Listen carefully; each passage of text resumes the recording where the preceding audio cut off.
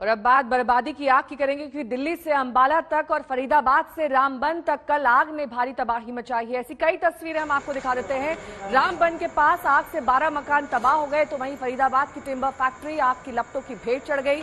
अंबाला में कपड़े के तीन मंजिला शोरूम में आग लग गई। ये पूरा शोरूम जलकर खाक हो गया। वहीं दिल्ली के मुंडका में खिलौना गोदाम में आग से काफ़ी बर्बादी हुई, लेकिन सबसे दर्दनाक हादसा दिल्ली के फर्श बाज़ार में हुआ, जहाँ सिलेंडर ब्लास्ट होने से आग में चार लोगों की जान चली गई।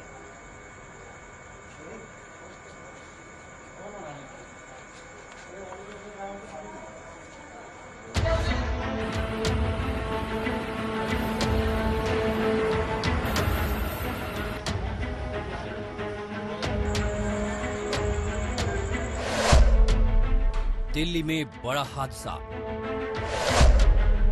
बाज़ार में सिलेंडर ब्लास्ट। चार लोगों की मौत, एक जख्मी।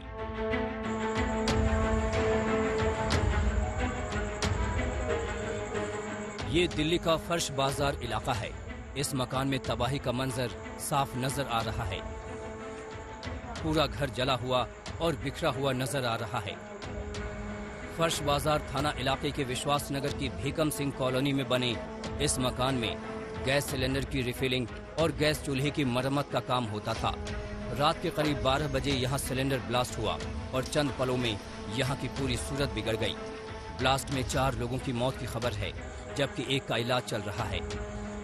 हम इस वक्त मौजूद है भीगम सिंह कॉलोनी इलाके में। दरअसल यही वो मकान है जहाँ पर गैस के जो चूल्हे हैं, उनकी रिपेयरिंग का काम होता था। उसके साथ साथ छोटे छोटे जो गैस सिलेंडर्स होते हैं, उनकी रिफिलिंग का भी काम होता था। अचानक से साढ़े बारह बजे के आसपास इस घर के अंदर जो है वो ब्लास्ट होता है और उसके बाद इस मकान के अंदर जो तस्वीरें हम आपको दिखाना चाहूँगा कि जहाँ पर जो दीवार है, उसके पीछे एक कमरा था जिसमें पाँच लोग जो है वो रहते थे। आग सिलेंडर ब्लास्ट होने की वजह से लगातार बढ़ती गई और उसके बाद आनंद फानन में आसपास के लोग और पुलिस की मदद से उन तमाम लोगों को बाहर निकाला गया।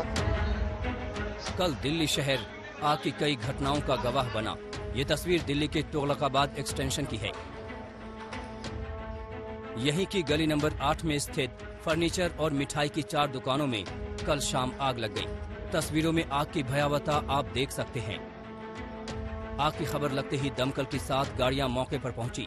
काफ़ी मशक्कत के बाद आग पर काबू तो पा लिया गया, लेकिन दुकान जलकर राख हो गए पुलिस के मुताबिक एलपीजी सिलेंडर की रिफिलिंग के दौरान आग लगने की घटना हुई। दिल्ली में आग की एक अन्य घटना बाहरी दिल्ली के मुंडका औद्योगिक इलाके में हुई। यहाँ खिलौने का एक गोदाम आग में जलकर राख हो गया।